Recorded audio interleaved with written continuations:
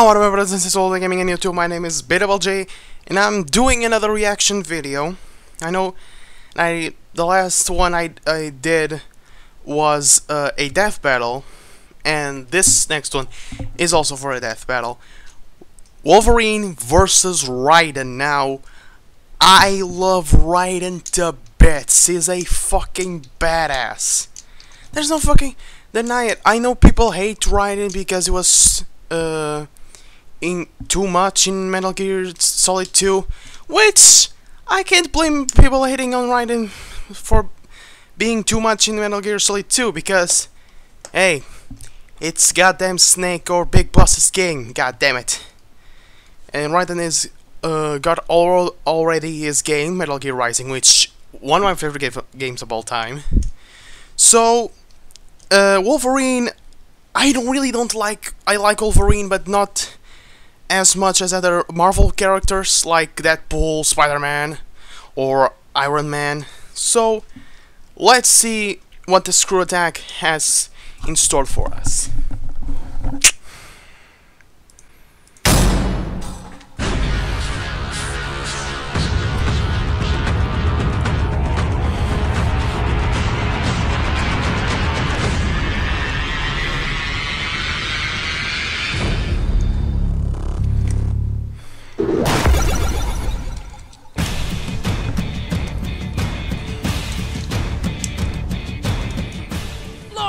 Weaponry are effective tools of destruction, but there's just something special about killing up close and personal with a blade.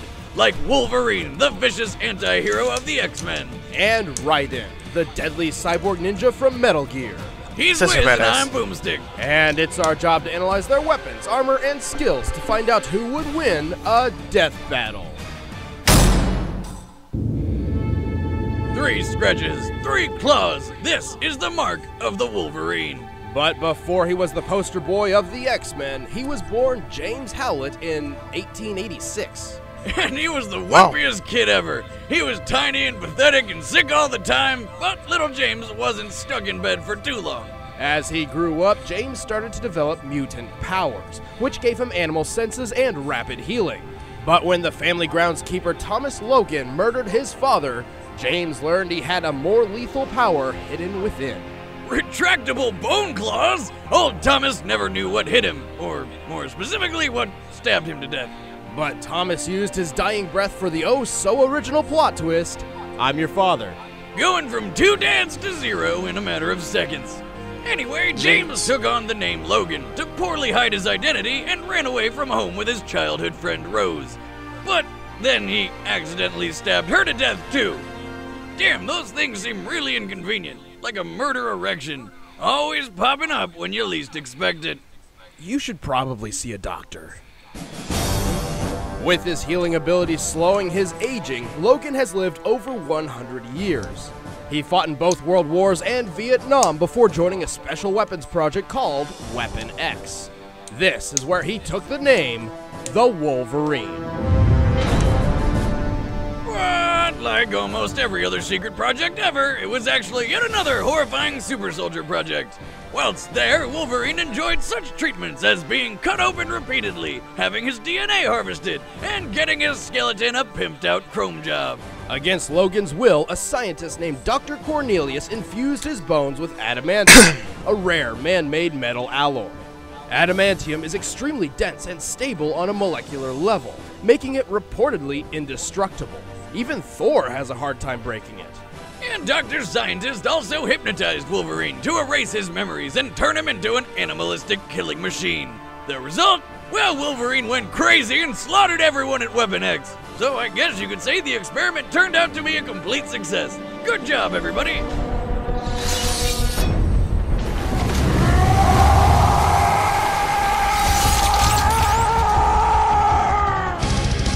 After wandering the wilderness and tangling with the Hulk, Wolverine was eventually discovered by the X Men, who molded him into a real hero.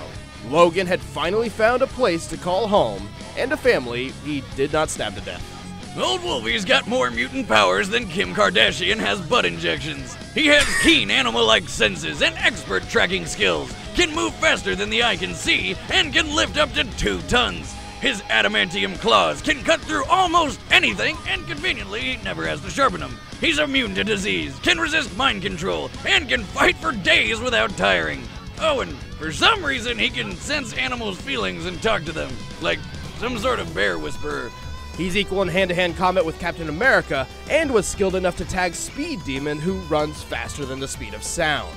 Despite all of this, his greatest attribute is his sheer durability. He's like Super Rocky. Wolverine has survived hits from Thor and the Hulkbuster, battled with Satan himself, and was once blown up with nothing left but his adamantium skeleton. Think that stopped him? Hell no! He got back up and beat the ever living shit out of the emo Bomberman who blew him up in the first place.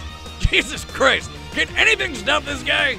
Well, technically, he has died a few times. He even used to have a deal with the Angel of Death to be resurrected should his healing factor ever be overtaxed. But eventually, he gave it up in exchange for his soul. Yeah, this actually happened. However, according to Professor Xavier, leader of the X Men, Wolverine's healing factor stems from his brain.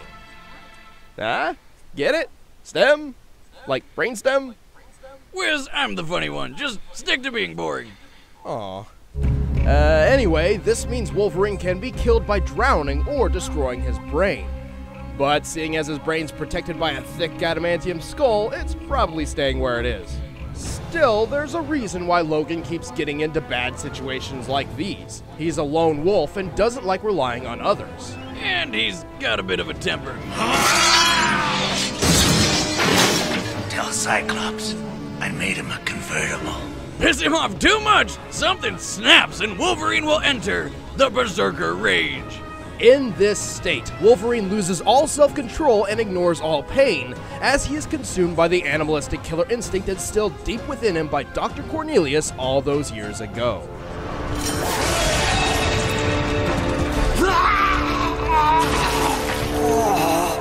My stars.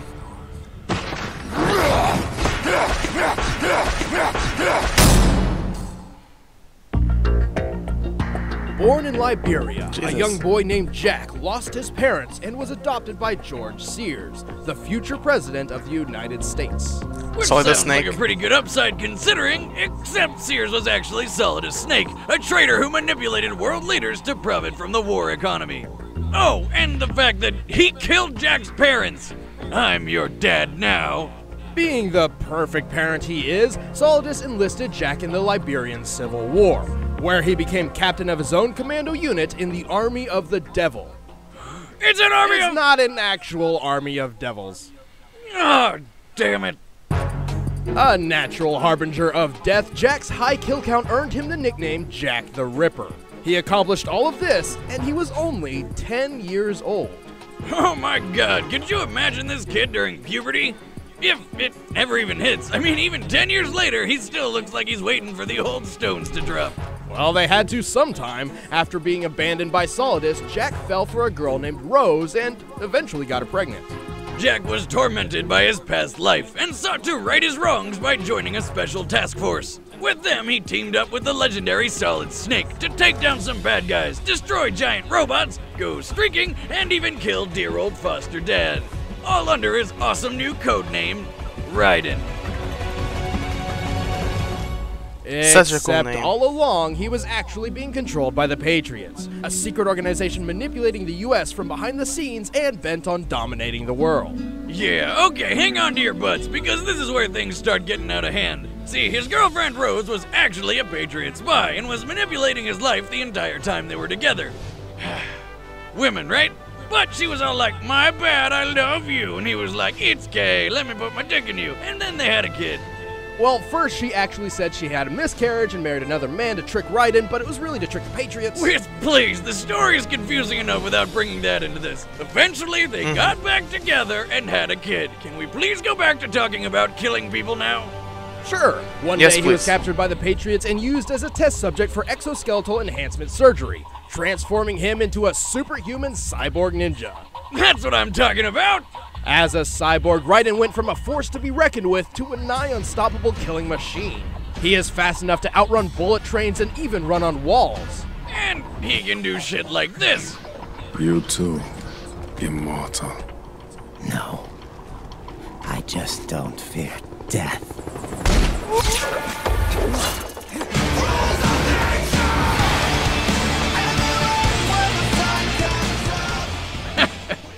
Drugs must be fun. That's not even the half of it. Raiden is strong enough to lift and throw a Metal Gear Ray.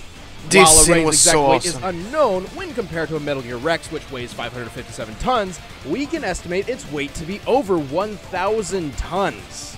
And that wasn't even his final form. Right, Raiden eventually got a newer, better cyborg body, which was even more powerful. Strong enough to flip this giant thing, rip off its building sized sword, and then fight a duel with it. And finish it off at blinding speed. I mean, what in the actual hell? When he's not wielding building sized blades, Raiden wields a high frequency blade called the Murasama. Originally forged in the 16th century, the Murasama was re-outfitted with high frequency technology. By creating a powerful current through the blade that vibrates at intense speeds, it weakens its target's molecular bonds, forcibly slicing through almost anything.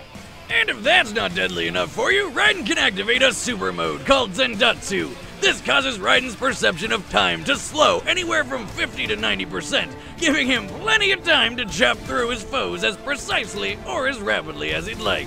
He can take this a step further by deactivating his pain inhibitors. Allowing intense agony from wounds to envelop his senses causes him to lose himself in his old Jack the Ripper personality. This Ripper mode radically boosts his already insane speed and strength.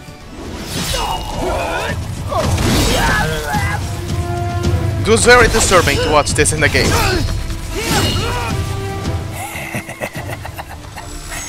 Who's next? But it comes at a price, you know, aside from the whole pain and sanity thing. These enhanced modes rely on a fuel supply, and using them burns through it at a rapid pace. Raiden can only carry enough fuel to sustain these modes for a very limited time, and relies on absorbing more fuel cell electrolytes from enemy cyborgs. Plus, his blood is not natural and must be changed regularly, like the oil in a car. But still, I am lightning. The rain transformed.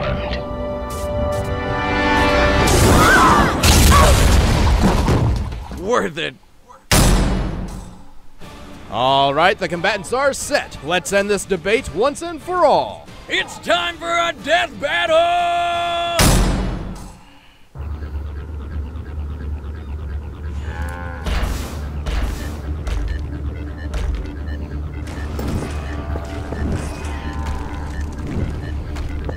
It looks awesome.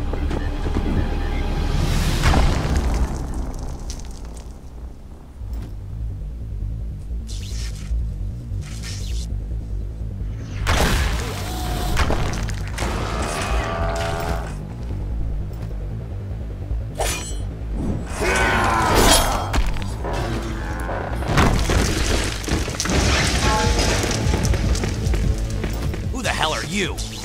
Get out of my way. Fat chance, bub. You're next.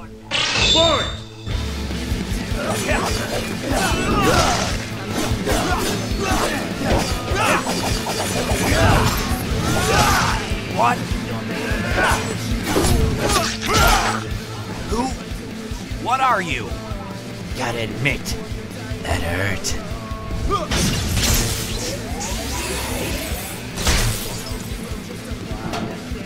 Nice trick, Voltron.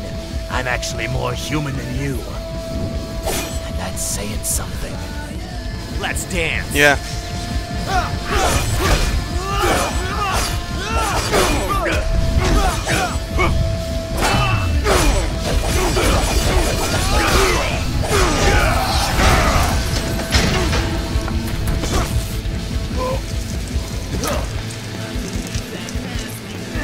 The animation is awesome. Seriously, props for them. No use hiding, bub. The nose knows.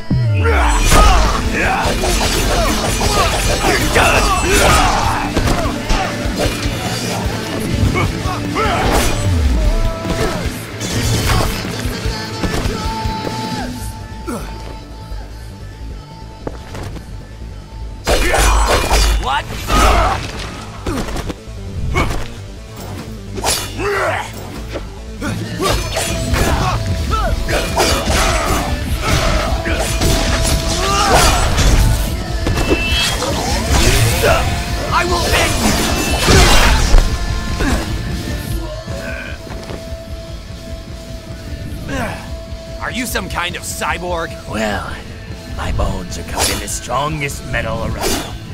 Does that count? I'll just have to swing harder then.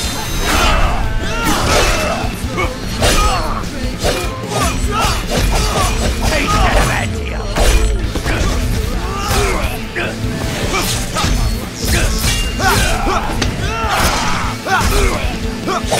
Adamantium!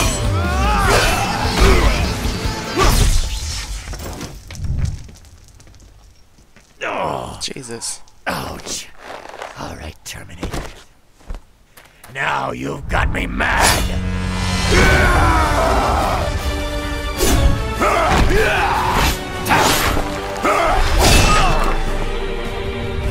Shit! Not again! The Jesus. RoboCop. Oh boy.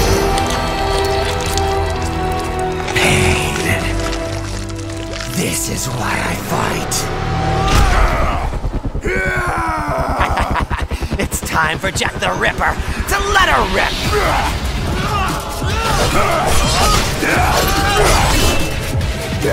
That is so bad.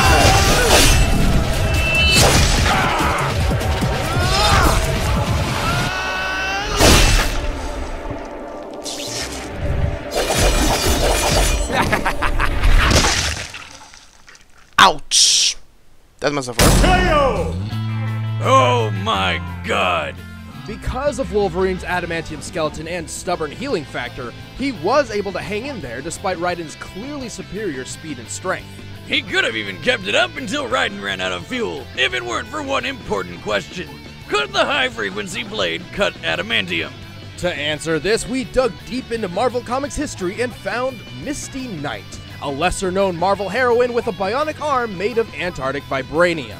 This anti metal emanates vibrations which weaken its target's molecular bonds, exactly like Raiden's high frequency blade. Like the Murasama, this can destabilize and break any metal, including adamantium. And while in Jack the Ripper mode, Raiden can strike with enough force to cut through buildings and machines built to survive nuclear wars. With that much strength behind a sword like that, plus Raiden's speed and technology advantage, Wolverine's supposedly indestructible skeleton met its match. Any way you slice it, Raiden just had the right gear for the job. The winner is Raiden. Uh, puns. So, there you go, my brothers and sisters. Raiden won. I'm happy actually because I, as I said, I love, I love Raiden to bits. Uh, yeah, I really, really dig Raiden. I really enjoy. I still have Metal Gear Rising on my PlayStation 3. I love that game. Even today, I still play it because it's fucking awesome. Uh, so yeah. Uh, I want to take a, uh, just a quick moment to say thank you, my brothers and sisters, for making uh, this channel reach 251 subscribers. Uh, and making this channel also have uh, this channel has uh, now 305 views combined with all my videos and it really makes me happy that I that my channel has that many views. I never I never when I started this I never thought people would like my content or, or even watch it to even now I, I just got a comment on my uh, videos uh, that the my 250 uh, one subscriber um, that made me really happy because uh, the good comments uh, the bad comments suck but uh, I have to I have found a way to I really don't give a shit because I have exposed to ah you're fat blah, blah, blah," you know it's the same thing I comments on real life or internet I have uh, found a way to deal. I just don't give a shit about the bad comments. And I also replied to one negative comment and he shut up because I responded him to a way he couldn't fight back. So, uh, but yeah, the good comments uh, really re it uh, it feels really good. Having a good comment. To YouTuber having a good comment or a like it means a lot. And for me as starting YouTuber it means the world to me. Having um, this many views this amount of subscribers. Even before I start school I never imagined I would have this many subscribers. And yeah I'm really really happy that happened I'm really really glad I I did this. I I'm really glad I didn't I went on it. I worked my my ass out for making videos uh, with my brother or myself playing uh, making let's plays. And yeah, I'm really happy that I got to do my dream and hopefully one day I can make this my job. That will be my dream, a dream come true. So thank you my brothers and sisters again. My twitter account will be in the description so you can follow me on twitter so i can reply more of you. You want to follow me on twitter or anything just go there. If you're there i'll reply reply to you. Just like in the comments. So that being said thank you again i'm really really grateful for everything and once again I'll see you around and auf Wiedersehen meine Freunde. And I forgot something. Like this video, comments down below. Dislike if you want, and if you did, tell me why so, so I can improve on my videos or make anything change. So tell me. So, as again, see you around and auf Wiedersehen meine Freunde.